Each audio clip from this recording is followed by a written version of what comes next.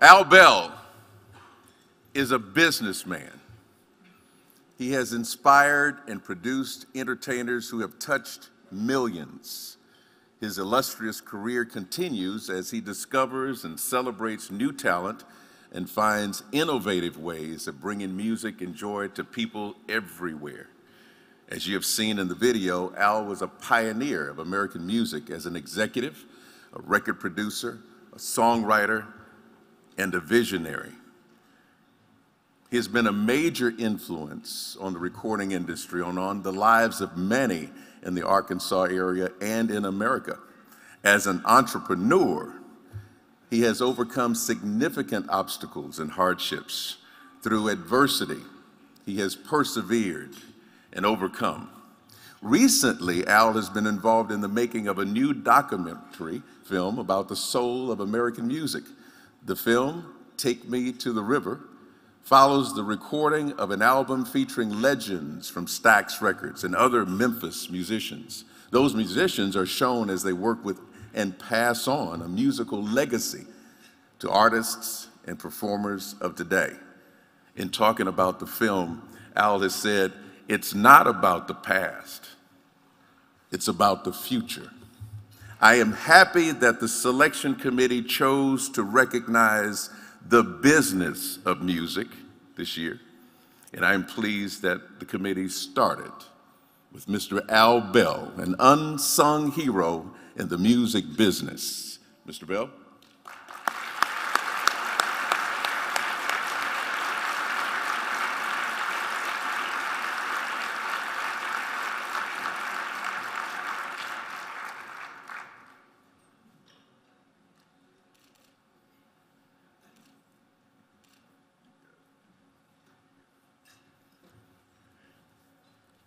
Well, I ask you, creator of the universe, to let the words of my mouth and the meditations of my heart be acceptable in thy sight. I profoundly thank you, the Arkansas Business Hall of Fame Selection Committee. Thank you.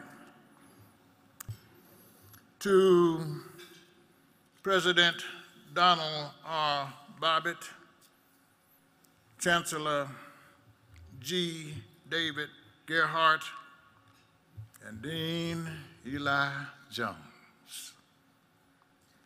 In 2011, the National Association of Recorded Arts and Sciences, NARAS, gave me their Grammy Trustee Award for Lifetime Achievement. You cannot imagine how humbled and honored I was to receive that award. And people continued to marvel about it all around the world. What a great achievement. But let me be absolutely clear with you. There is nothing sweeter and more precious and more humbling than being recognized and awarded like this at home tonight.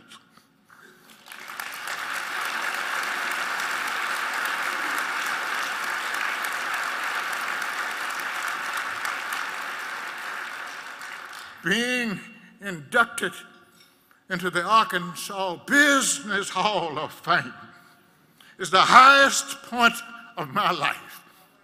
It can't get any sweeter than that. I thank you. I love you. And I thank you.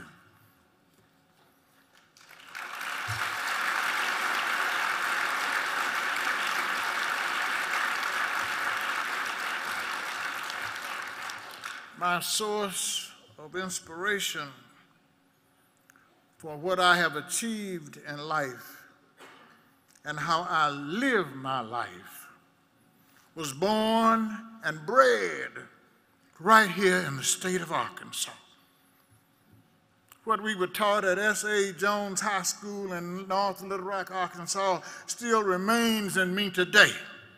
Good, better, best. I shall never rest until my good is better and my better is the best.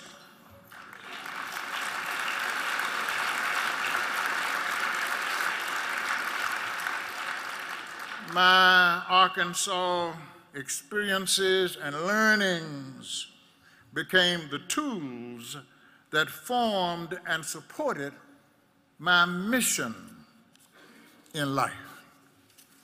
My personal mission statement is to build the best, most comprehensive, God inspired recorded music, video, cinema, theatrical, communications, and entertainment business complex the world has ever experienced for the express purpose of promoting and applying the principles, precepts, practices, and universal laws of the Word of God, the creator of this universe.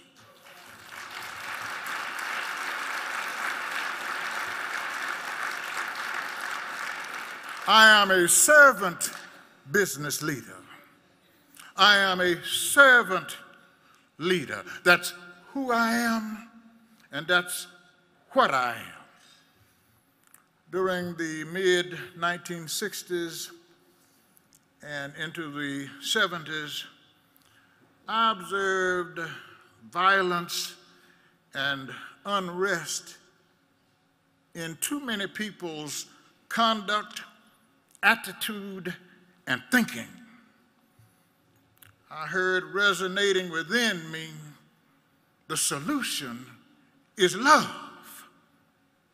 The solution is love. So put the spirit of love in the music, Al Bell. And I did that. I know a place. Ain't nobody crying, Ain't nobody worried. Ain't no smiling faces lying to the races. I'll take you there. It's a state of mind. It's how you think. It's about the spirit in you. Love your neighbor like you love yourself after the Watts Rebellion in 1965, in 1972, we took that music filled with love and put 112,000 people into the Los Angeles Coliseum and kept them there from mid-morning until late at night, and we did not have one single act of violence.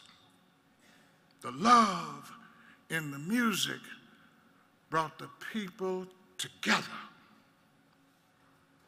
Stax recorded and marketed a popular album on Reverend Jackson using his iconic litany, I am somebody, as the title of the album. We helped increase the awareness of his organizational movement, people united to serve humanity. Push. People united to serve humanity. Reverend Jackson saw unnecessary lives being lost because of a lack of self image self respect, and economic murkiness. He addressed self help and encouraged our youth to stand up and be proud American citizens. I am somebody. Proud American citizens. Plato says music gives a soul to the universe, wings to the mind, flight to the imagination and life to everything. Music, Plato. Music, music, music. As I complete my remarks, I wish to share with you the last verse of a three verse poem written by Edgar A. Guest and given to me by my godfather, Winthrop Rockefeller. It has served me well throughout my life and my business career. And it continues to inspire and motivate me today. In fact, I live it. It is titled, It Couldn't Be Done. There are thousands to tell you it cannot be done. There are thousands to prophesy failure. There are thousands to point out to you one by one the dangers that wait to assail you. But just buckle in with a bit of a grin. Just take off your coat and go to it. Just start to sing as you tackle the thing that cannot be done. And you'll do it. So be it.